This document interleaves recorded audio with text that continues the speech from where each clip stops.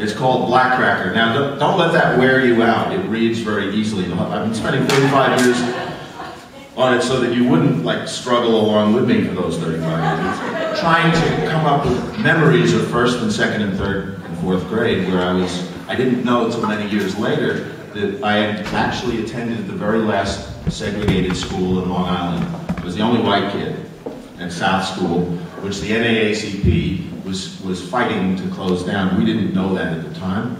And I didn't know I was white or that there was anything unusual about that until many years later. I said, wait a minute. So the whole uh, amazing story is in that book. And um, I call it an autobiographical novel so that when I go on Oprah, they can't accuse me of lies.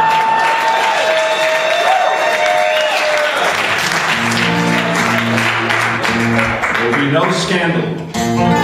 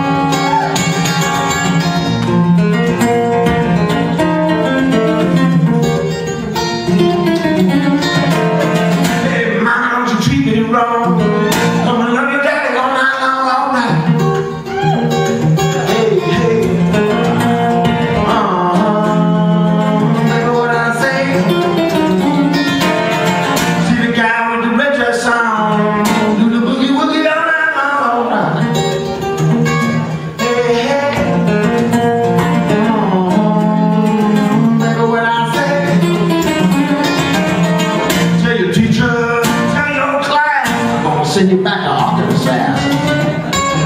Honey, you don't